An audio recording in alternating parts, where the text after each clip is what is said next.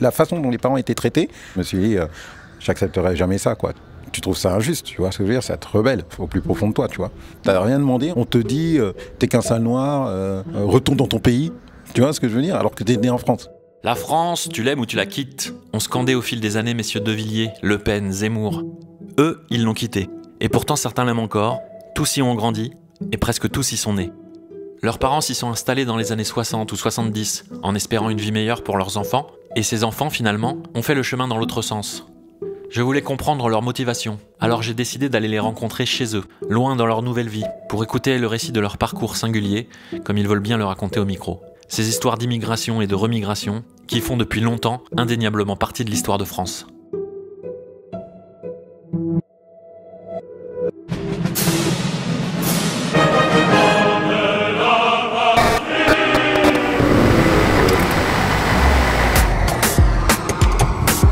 Adieu la France. Un podcast sonique par David Comeyas. Salut. Épisode 2, Punchline à Dakar. Première partie.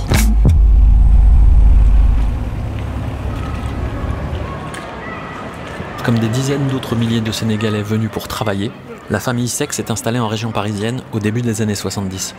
La plupart de leurs cinq enfants y sont nés, dont Jean-Pierre, Jean-Pierre Sec, devenu journaliste, spécialiste notoire du rap français et producteur de l'album mythique de Lunatic et du premier album de Booba. Jean-Pierre retrace sa trajectoire, motivé par une revanche sociale, comme il le dit lui-même, avant de penser à revenir s'installer sur la terre de ses ancêtres. Moi, je suis né en 73. Je suis né, j'ai grandi en France. J'ai emménagé à Dakar en 2017. Je suis musulman euh, et j'ai un prénom chrétien parce que la personne qui a aidé mes parents à s'installer à Paris, c'était un Sénégalais, mais un Sénégalais chrétien qui s'appelait Jean-Pierre. Et donc, ils m'ont donné le prénom par rapport à lui, tout simplement.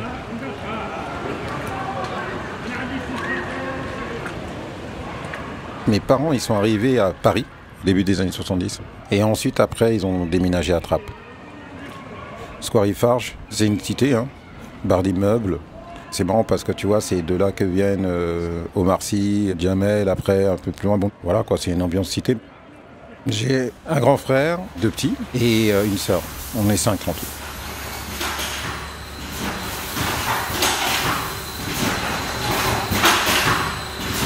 C'est une époque où il y avait euh, un manque de main-d'œuvre.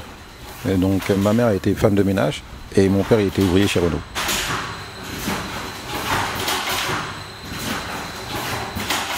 Quitter le Sénégal pour venir, c'était pas très très compliqué. C'était pas le parcours du combattant comme tu peux voir aujourd'hui quoi. C'était euh, je viens, je travaille parce qu'il y a une demande, etc. Parce que c'est un pays qui a été quand même colonisé par la France. Il y avait des relations qui étaient particulièrement intenses en fait entre les deux, territoires. Vu que la famille a été très présente en Afrique, hein, tu recevais des lettres euh, et beaucoup d'échanges de courriers. Donc le lien il était naturel quoi. Manger le tchèp le week-end, euh, regarder les émissions, écouter la musique. C'était une vie de Sénégalais en France, attachés à leurs racines. On partait souvent au Sénégal. Ça fait partie des charges qui étaient quand même assez euh, importantes parce que tu vois, quand tu as une famille de cinq enfants, donc tu vois, les billets d'avion, c'était euh, quelque chose. Je pense qu'ils voulaient qu'on connaisse notre culture, qu'on connaisse euh, notre famille, qu'on connaisse euh, le Sénégal, qu'on ne soit pas ko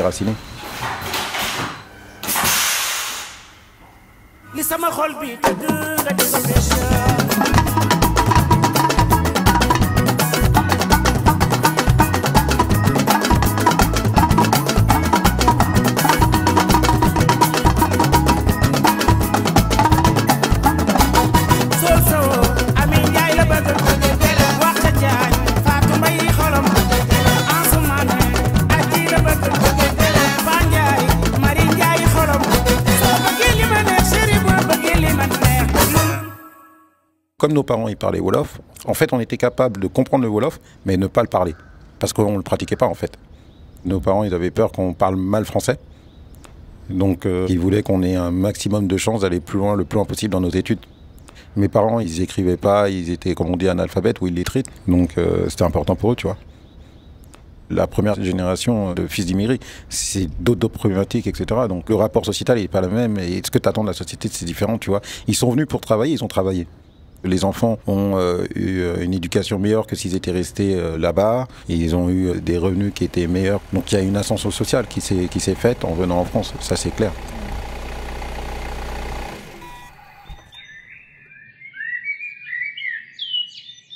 J'ai déménagé, j'ai quitté Trappes pour aller dans une ville qui s'appelle Montigny, Montigny-le-Bretonneux, toujours dans le 78, tu vois, une ville de droite, etc.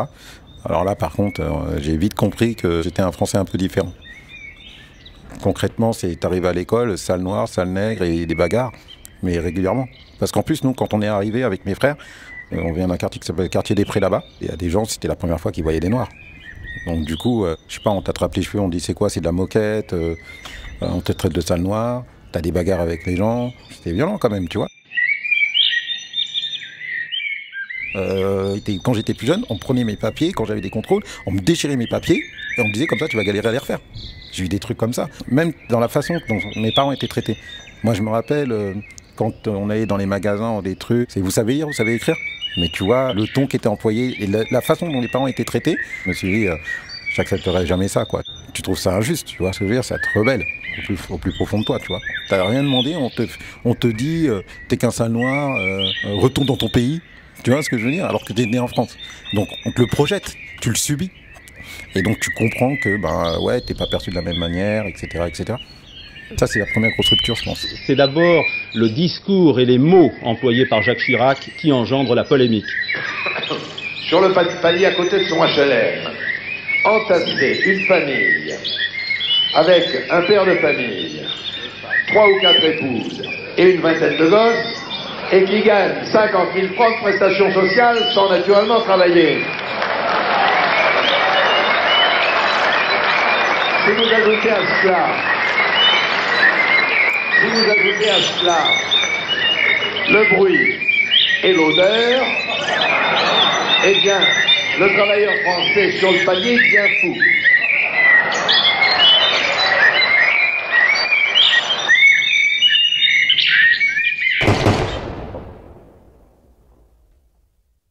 Le truc qui tue, c'est que quand tu sens dans le regard des gens le dédain et le mépris. T'es noir ou t'es arabe, donc du coup, euh, tout ton discours est disqualifié, t'es pas crédible. Le truc d'a priori, c'est le truc qui, qui transperce le cœur de plein de gens de banlieue en vrai. Plus qu'un sein noir, parce qu'un sein noir aujourd'hui, bon, c'est basique, c'est facile à évacuer. Mais ce truc de euh, profond, où tu sens que en tant qu'être humain, on te remet en question, comment tu, tu combats ça en fait? Là où les débats est toujours faussé, c'est que si tu es intégré dès le début, si tu te sens français dès le début, tu cherches pas ailleurs.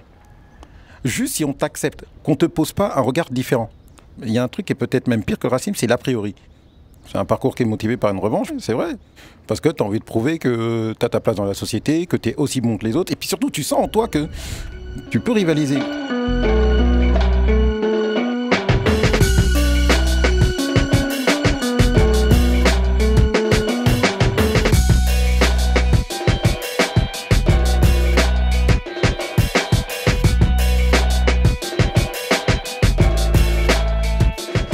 Moi, j'appartiens à une génération où on a embrassé la culture américaine parce qu'à travers cette culture américaine, on a pu trouver des valeurs qu'on ne trouvait pas dans la société française. Parce que je n'avais pas, moi, de rôle modèle euh, noir français ou de rôle modèle français tout court blanc qui répondait à un truc qui sommeillait en moi. Cette culture américaine, on a appris le travail, euh, l'ouverture d'esprit. Ça nous a permis de sortir de notre quartier, d'apprendre l'anglais parce que du coup, on lisait des trucs en anglais. Donc, notre énergie était concentrée à s'élever parce que du coup, tu devais faire preuve de plus de culture. Moi, j'allais voir des profs des fois pour traduire des textes de Michael Jackson. Puis, puis après, quand euh, le rap arrive, par exemple, pour moi, c'est une révolution. J'adopte cette culture-là, mais de façon incroyable. Là où je visualisais le racisme, un rejet, etc. Je voyais aux États-Unis des gens qui étaient comme moi, donc noirs. Je vois des gens qui me ressemblent, qui parlent comme moi. c'est- je suis par terre en fait. Tu vois ce que je veux dire? Et puis tout d'un coup, tu es en phase avec ta société. Tu es à la télé, tu es dans les séries, tu es dans les trucs. Et puis après, tu as une fierté. Tu vois Euh, Tu vois des gens qui sont comme toi, qui sont dignes, qui sont représentés, qui sont capables d'avoir euh, des hauts postes dans la société, qui sont, euh, qui sont pas caricaturés. Donc pour moi, j'adopte cette culture-là, mais de façon incroyable.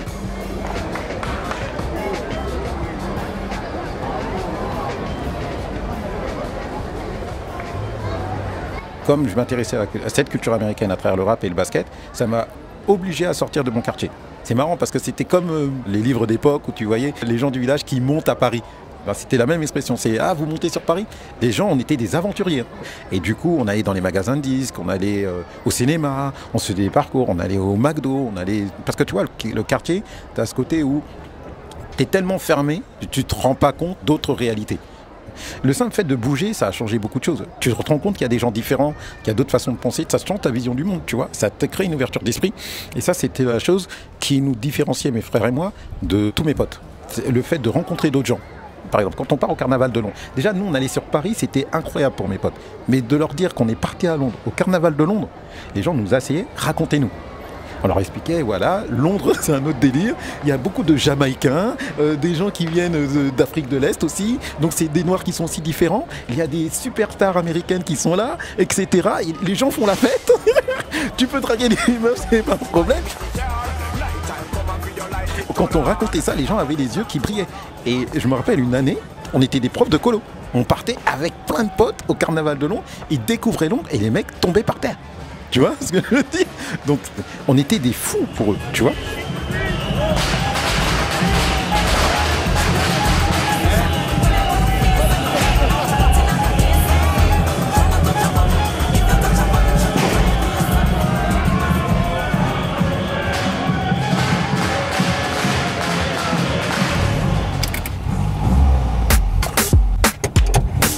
Adieu, la France.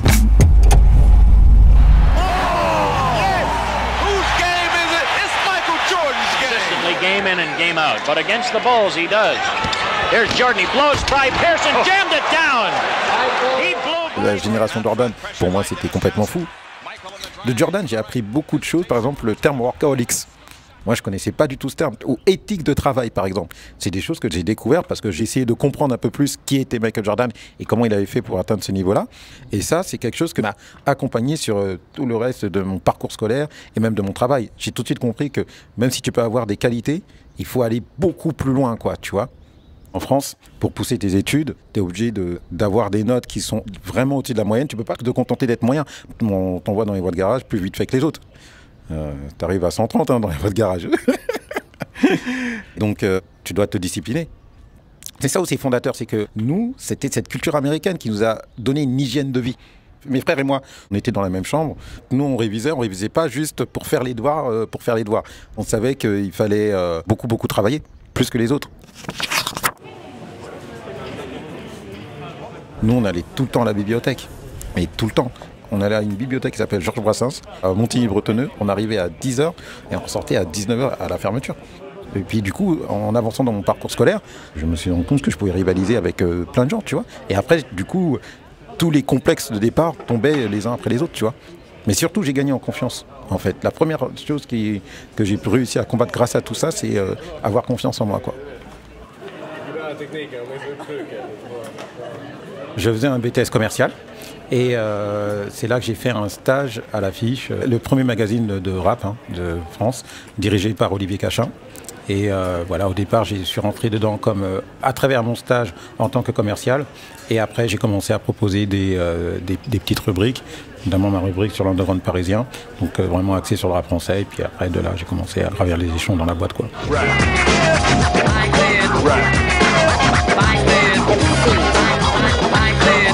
Nom de code, ministère A-M-E-R. Code postal 95200, Sarcelles. Première apparition discographique. Olivier Cachin, qui est donc euh, rédacteur en chef de ce fameux magazine d'affiches pour qui j'ai travaillé, animait et présentait une émission euh, qui s'appelle Rapline, qui était diffusée sur M6 euh, sur le rap. SOS, en prélude à leur premier album qui sortira dès septembre 92. Regardez ça avec mes frères, c'était un, un rendez-vous, on pouvait pas le louper. On pouvait pas louper ça. Tout simplement craint. La première fois qu'on a vu euh, le clip de Ministère amer, t'as que des noirs dans le clip. On était choqués. Nous-mêmes, en tant que noirs, hein, on était choqués.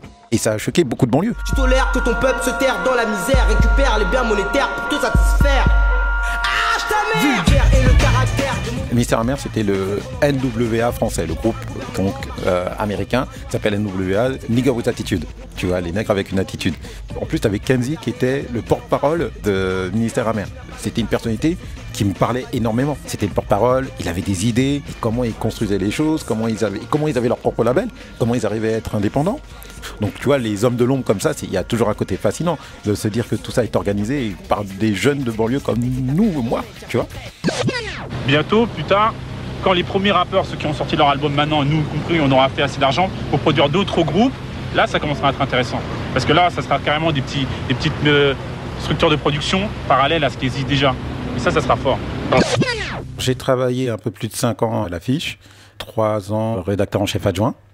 Et puis voilà, à force de me rapprocher des artistes. Bah, en fait, comment s'est monté Label 45 Scientifique C'est que moi, j'étais très proche en fait du groupe Lunatique. Et euh, à l'époque, quand Booba était en prison à Bois d'Arcy, donc la première fois où il est, parti en prison, bon, j'allais le voir au parloir. Et euh, je poussais à ce qu'il monte le label euh, 45 Scientifique avec Ali et Géraldo. Et il m'a dit, moi, je monte pas si t'es pas dedans. Et c'est comme ça que je me suis retrouvé à, être parmi les, producteurs et à prendre la production et me mettre à fond dedans.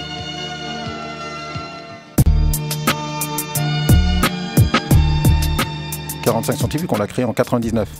On a fait disque d'or avec Lunatic. Euh, cet album de Lunatic, Mauvais Oeil, ça a été un tournant. Ils ont parlé de la rue comme personne n'en a parlé. Ça a montré une nouvelle société française au niveau des banlieues. Parce qu'on avait les NTM, les IAM, etc., qui avaient un côté plus euh, politique et social, vraiment, tu vois. Alors que là, on avait le côté quartier, euh, business dans quartier, tel que ça se passait, tu vois, le cru tel que c'était. Artistiquement, c'était incomparable. Et en plus, ça en disait long sur un truc sociétal. Homme noir, on a trop subi, on vient récupérer nos dûs, la détermination. À nos corps pour demeure. Soldat, exister est un honneur. On est venu cracher notre haine. Mon frère, ça vient des Hauts-de-Seine. Et c'est la même partout. Y a bien longtemps, on était roi. Aujourd'hui, c'est niqué. On va pas leur servir de proie. Combattre, on sait faire que ça. Et on repartira avec leur argent, leur sang et leur peu ça. Au-dessus de leur loi, qu'on nous a toujours renié. Nous, on y croit. Les derniers seront les premiers.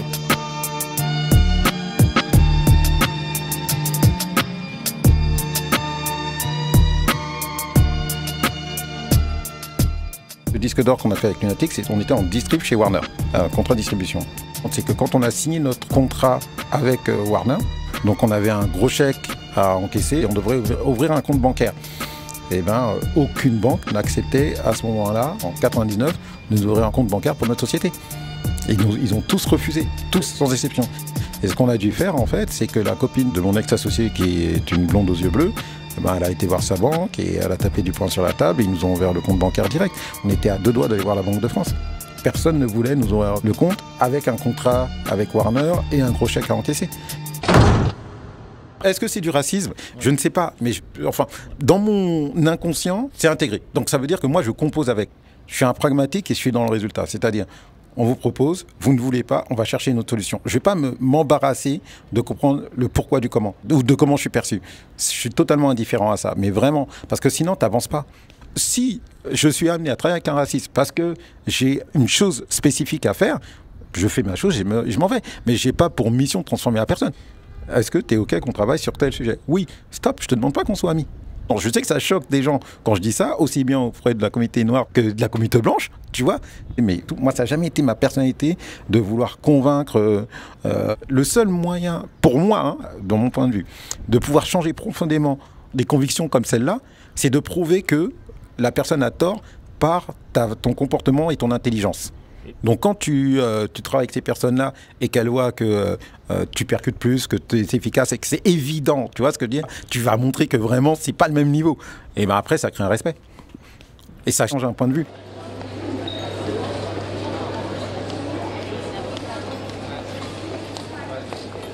« 45 scientifiques, on a dû sortir une dizaine de projets. J'ai toujours eu des allers-retours avec la- l'Afrique. Je produisais déjà un artiste qui s'appelle Nix, euh, qui est connu au Sénégal. Je connaissais bien sûr les Didier Awadi, tous les groupes un peu connus ici. Et donc je me suis dit, je me suis rendu compte qu'en fait que euh, tous mes potes qui étaient artistes au Sénégal ne gagnaient pas leur vie de la musique. Donc je me suis dit, je vais commencer à m'intéresser aux droits d'auteur, à YouTube, au fonctionnement YouTube et ainsi de suite. De fil en aiguille, j'ai commencé à développer un projet de développer un logiciel de gestion de droits d'auteur pour l'Afrique, mais vraiment spécifique à l'Afrique, qui répond à toutes ces problématiques-là. Ça m'a amené à faire de plus en plus d'allers-retours au Sénégal, mais un peu partout en Afrique de l'Ouest. Et euh, en 2017, j'ai présente en fait cet outil à Marc-Antoine Moreau, qui était donc le directeur d'Universal Afrique à l'époque. Parce qu'Universal qui sont, ils se sont confrontés aux mêmes problématiques de marché que tout le monde, tu vois. Et euh, il me dit, je te reviens. Et quand il me revient, il me dit, écoute, ton truc il est tellement bien, on te propose un poste de directeur du publishing comme expat à Dakar. Et tu continues à développer ton logiciel. Je m'y attendais tellement pas, et, je- et surtout il m'a fait une proposition que je pouvais pas refuser, quoi. Et donc c'est comme ça qu'après, je me retrouve à être vraiment posé à Dakar. Et là, dans mon pays, du coup, tu vois. Mesdames, Messieurs, bienvenue au Sénégal, pays de la Teranga. Nous venons juste d'atterrir à l'aéroport international des À suivre dans la deuxième partie d'Adieu la France. Punchline à Dakar.